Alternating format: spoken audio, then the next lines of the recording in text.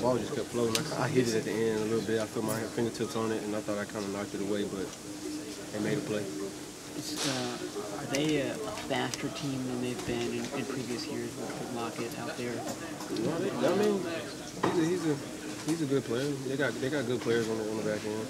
He just you know, they just make plays. You know, they made a play. It's nothing more than less. I mean, you do expect you guys to be more competitive than you were tonight. I just go out there and play the calls that are being called in, and that's, that's all I can do. You know, we, we've seen wide receivers get open. Is that just miscommunication? Guys out of position? Some may, some may be, and some they just probably made plays. I'm not sure what coverage y'all talking about. I mean, it's different coverage that we play. Is this uh, how frustrating is it just from your perspective being back there? And, I mean, we just got to come in every week. We I just, we can't just stop playing.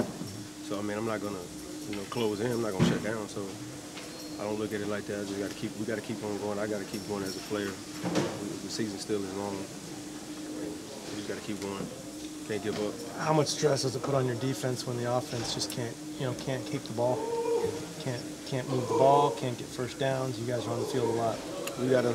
We still gotta go out there and make plays and perform and get off the field. Give them, give them a chance to get back on the field. That's all we can do. you had another interception in the end zone right Yeah. before halftime. It's, Yeah. what about that play? I mean, he threw it, and we was in cover three, so I mean, I, I was able to make a play. I needed to make a play. I gave up one, so gave one, got one, so I still got to keep on going as a player too.